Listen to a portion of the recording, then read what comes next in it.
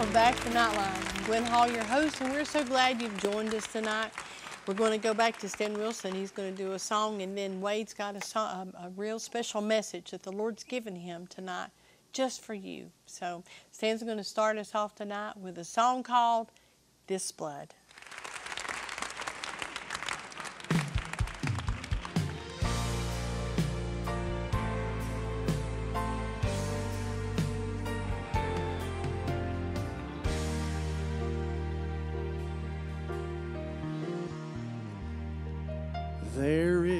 Is blood that cost a life that paid my way and death its price. But when it flowed down from the cross, my sins were gone, my sins forgot. There is a grave that tried to hide this precious blood that gave me life. But in three days he breathed again and rose to stand in my defense. And so I come to tell you he's alive, to tell you that he dries every tear that falls. And so I come to tell you that he saves, to shout and to proclaim that he's coming back for you.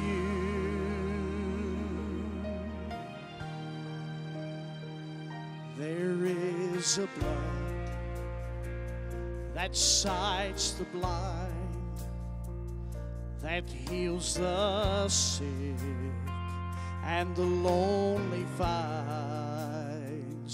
It has the power to free the bound as chains they fall upon the ground.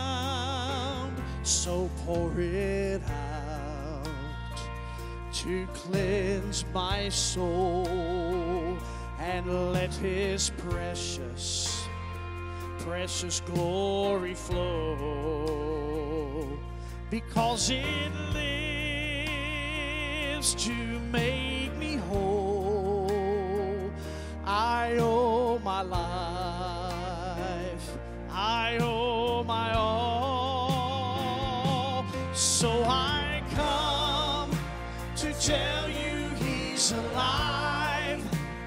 tell you that he tries every tear that falls. And so I come to tell you that he saves, to shout and to proclaim that he's coming back for you.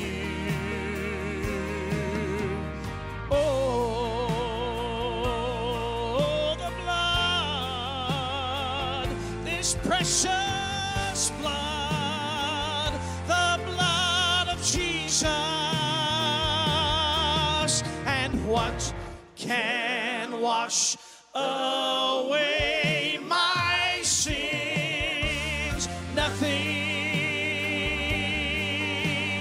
nothing. And what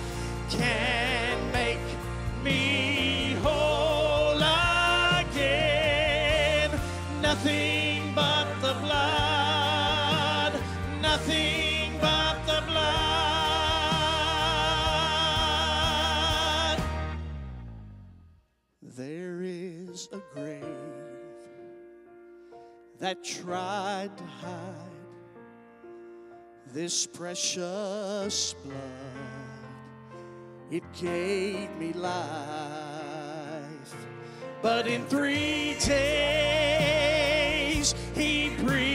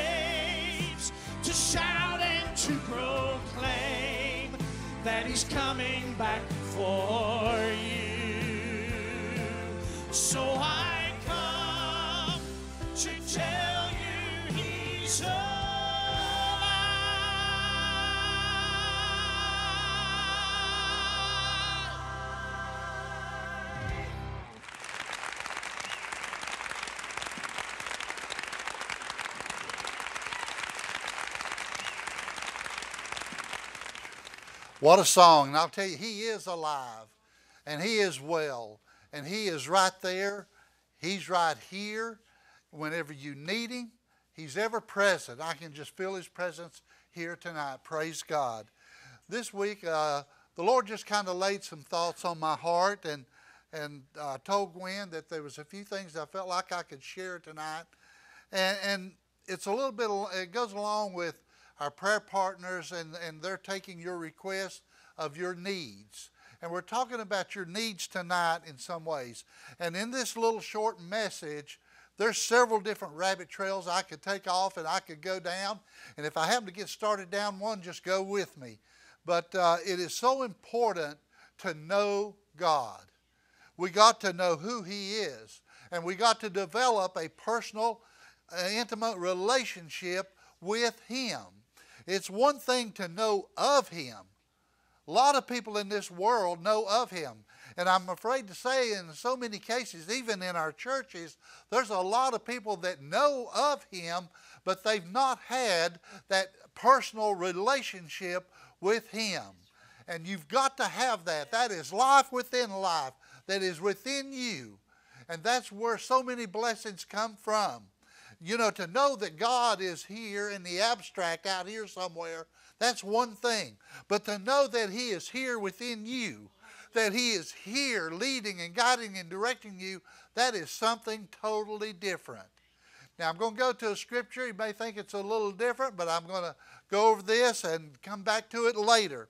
I'm going to Daniel. I'm going to the uh, third chapter. And many of you know this story. It's about Shadrach, Meshach, and Abednego. And it's about the king Nebuchadnezzar and how he got caught up with himself and decided he was going to build a god made out of gold. And let me tell you something, he expected everybody in the kingdom to bow down. But he ran into three guys that knew God. And I want to read just a little bit here, uh, third chapter, 13th verse, starting there. Then Nebuchadnezzar, in his rage and fury, commanded to bring Shadrach, Meshach, and Abednego, that they might be brought, these men, before the king. And the reason they're doing that is because some people snitched on them. They said, hey, these, there's some guys out here that are not bowing down. So the king got upset with that. And Shadrach, Meshach, and Abednego had been put in places of authority within the kingdom. And uh, reading on, and he spake and said unto them, Is it true, O Shadrach, Meshach, and Abednego? Do ye serve do ye not serve my gods, nor worship the golden image which I have set up? He set up, man set up. Now if ye be ready, that at the time that you hear the sound of the cornet, the flute, the harp, the sackbut, psaltery, the dulcimer, and all kinds of music, ye fall down and worship the image which I have made. Well, he said, but if ye worship not, shall be cast the same hour into the midst of a burning fiery furnace. And who is that God that shall deliver you out of my hands? Oh boy, I don't think I'd want to make a statement like that. Who's that God that's going to deliver you out of my hands? Shadrach, Meshach, and Abednego answered and said to the king, O Nebuchadnezzar, we are not careful to answer thee in this matter. You know, they didn't have to think about it. They not at all. If it be so, our God, whom we serve, is able to deliver us from the burning fiery furnace, and he will deliver us out of thine hand, O King. Well, I want to go from there now over and talk a little bit about uh, what is so important in our lives is things that happen to us and when we need things. So many prayer requests come in Monday through Friday. In those prayer requests are all kind of needs. It could be anything from a headache. It could be eye problems. It could be heart trouble. It could be lung problems, kidneys.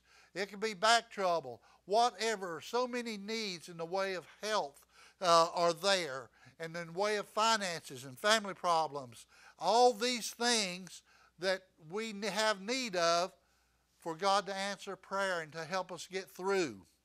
Uh, there's also situations oh, this day and time, drugs and other addictions. It's running rampant across our nation. Boy, do we need God deliverance from there.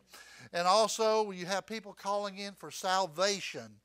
And, and what's sad is so many times I've run into people that don't even know the name Jesus. Did you hear what I said? They don't even know the name Jesus.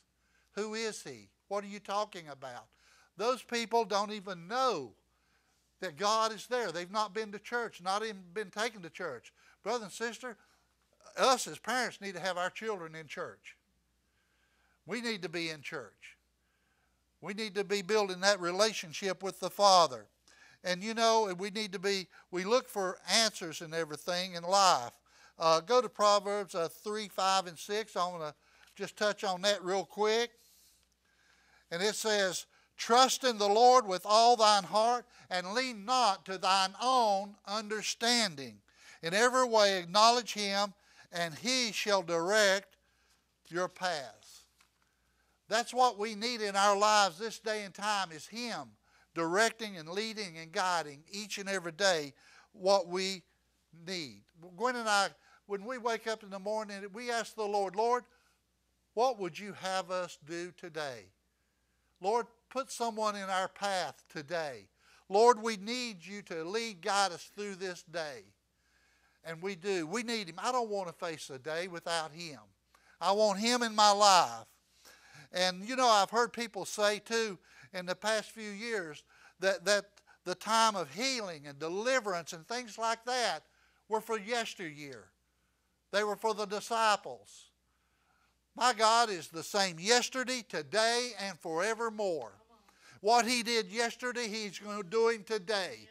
He was healing yesterday. He showed the way, and there's healing in the house today.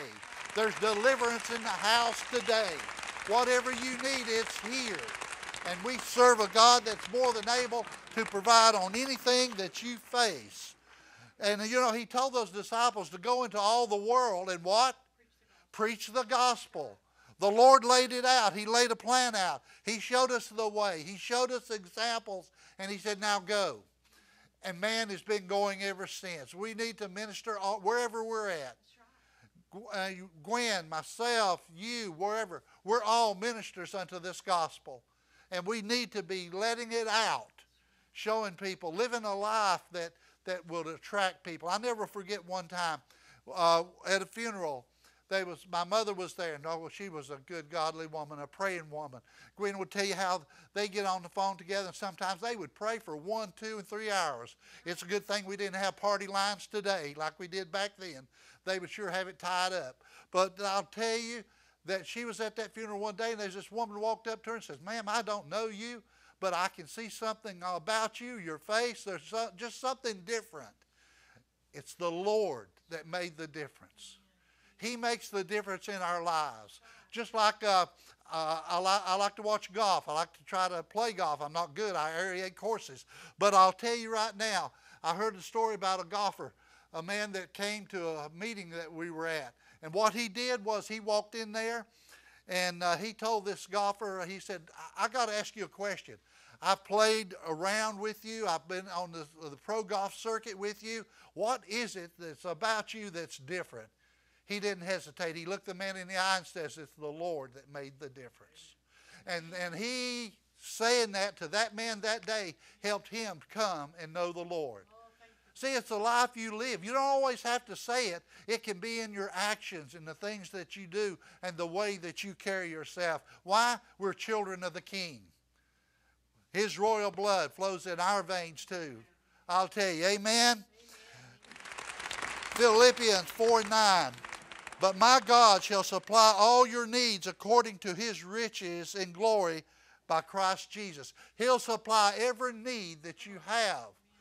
Need. There's a lot of things I'd like to have in life I want. But you know, I may not need those things. I want God's will in my life. I want Him supplying, supplying what I need each and every day in my life. It makes such a difference if we go that route. Do you remember the uh, breakfast jingle that was years ago? Some of you may be too young for this one. K E L L O G S. Kellogg's the best for you. You know, that was a jingle to get you start eating Kellogg's you know, in the morning to get you, it's something that would get your day started, build fiber and strength to go for the day. Well, let me tell you, we need to start our day on our knees or with the Lord first thing in the morning with Him and let Him be our strength, guide, and the direction for that day. He's the one that we need in our lives. We need to we're forgetting him sometimes and leaving him on the sidelines. We need him right in the middle of what we're doing each and every day of our lives. Because we're serving the King of Kings, we're serving the Lord of Lords, and he is an on time God, ever present in all that we do and need. I'll tell you, he is the great physician. You call in for healing. You look, you know, the prayer request. It may be for a brother, maybe for yourself or someone else, a friend let me tell you, He is the healer. He is Jehovah Rapha. He is the one that healeth. And you're doing the right thing by calling in and saying, please join me in prayer. Lift this prayer up. That's what we need to do. Put Him in the forefront on all things that we do. If it's family problems, well, get God back in the family. Get evenly yoked and pulled together. Well, you don't know. God knows. He knows exactly what we need, when we need, and how we do it. Addictions, deliverance, we need that. We need that in our lives. I'll tell you right now, people are getting so addicted to drugs out here. They're addicted to alcohol, but we serve a man who can deliver. He's, I'll tell you, he walked up, he said, uh, the man came to him and said, My son, oh boy, my son's got problems. He needs deliverance. Well, Jesus didn't hesitate, he delivered him. There is deliverance in the name of Jesus. There is deliverance that is out there. And salvation, you know Romans 10 9, scripture that's used all the time. You know, we got to confess with our mouth that He is Lord, that He died and rose again, and that He is on the throne. He is there for you and I. I'm telling you right now, if you don't know Him as Lord and Savior, you need to get on these phones right now. Call our prayer partners and say, hey, I, I don't know the Lord as my Lord and Savior. I need Him in my life. And they'll pray that prayer with you. You need to, if you've just backslid, you need to get him on the phone and call and say, hey, pray with me. I need to get back where I need to be with the Lord. I'll tell you, it's so important that we walk the walk. And not only walk it, we need to talk the talk. And I mentioned earlier, He is Jehovah Jireh. He is our provider of what we need. He is Jehovah Nisi. He's the banner that goes before us. That's what we ask about each and every day in our lives. God, lead, guide, and direct. We'll follow that banner. Go, let him go before you, but follow him. And so many of you that call in so many times, you're going through turmoil or, or you've lost a loved one and it, and it hurts. Well, you know what? He is Jehovah Shalom. He's the peace speaker. He's the one that can speak that peace deep into your soul, that peace that passes all understanding He's there to give it out, to help you, to encourage you, and to help you through these times. See, we as Christians are not immune to things happening in this world and around us, but I'll tell you what, I don't want to face the things that go on in this world or would in my life without Him. He's the one that gives me the strength and the ability to get through the things that we face in this life. It makes it so much easier. And I'll tell you something, when you're there, there's such a joy. And you know what the joy is? The joy of the Lord is what? It's our strength. And if we're walking in that joy, it is so wonderful. Amen. But we need to exercise our faith when we face things in life. We need to go to the Father. We need to say, Lord, I need you. I need a healing touch or I need a deliverance. I need we need to go to the Father, the one who is the answer. Things in this world that go on around us are not our absolute. He is the absolute that we need to go to. And I want to go back as I close out here. It's going to take another minute maybe or two. But where we saw in Daniel, I love this. He said, If it be so, our God, whom we serve, is able to deliver us, and he will deliver us out of thine hand, O king. But I like this next verse. But if not, if not, if you if if Lord is not providing what I need or what I'm looking for, if not, that's okay.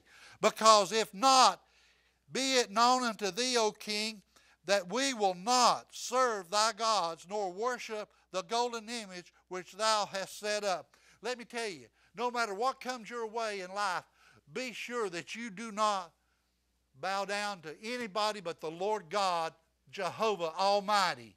He is our answer, He is our source, but He is also going to be there for you. I'm going to jump over to verse 25, and he's and this is after the king got so mad at him, he threw him into the fiery furnace that had been heated seven times hotter. But look what happened.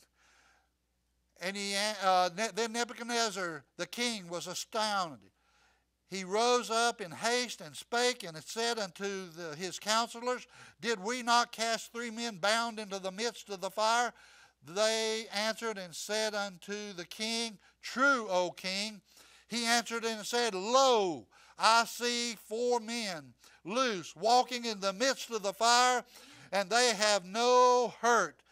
And the form of the fourth is like unto the Son of God. Let me tell you, when you're going through the fire in your life, you've got the Son of God right there with you, beside you, in you, helping you get through and face anything that you may be facing. So, whatever your need is out there today, I'm telling you, put it in the hands of the Lord God Almighty. And then start saying, Thank you, Lord, for the answer. Don't forget to praise Him. Well, I don't still feel like it. Well, the Bible talks about sacrifice of praise. And that's a whole nother message. You reach right down inside and still praise Him until that full answer comes. God bless you. Now we're going back to some more wonderful singing. Stan's going to sing, We Will Rise Above It All.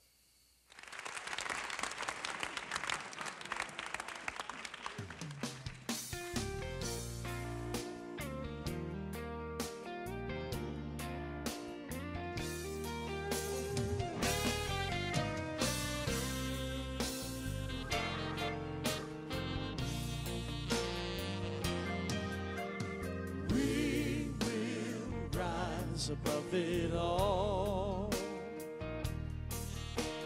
We will rise above it all.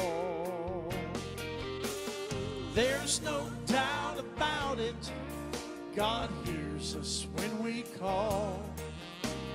We will rise above it all. The ship sails east the ship sails west by the same gale that blows. It's the set of the sail and not of the gale that determines which way she goes. When life comes crushing in on you and you're down beneath the load, set your mind towards the wind and let the Spirit blow. Storms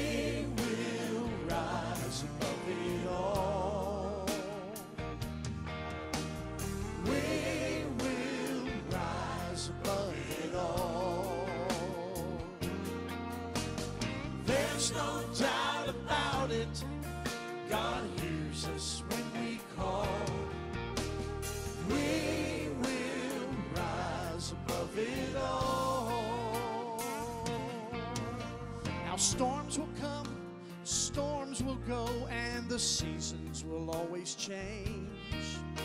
No matter what is going on, God's love stays the same. And we must know He's in control, and the storm too shall pass.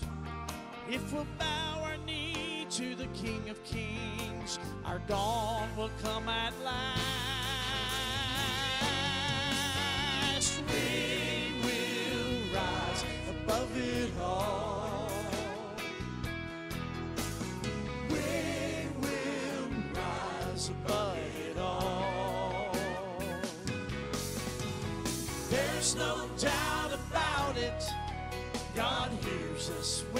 Call. We will rise above it all. Oh, we will rise above it all. We will rise above it all. There's no doubt about it. God hears us call.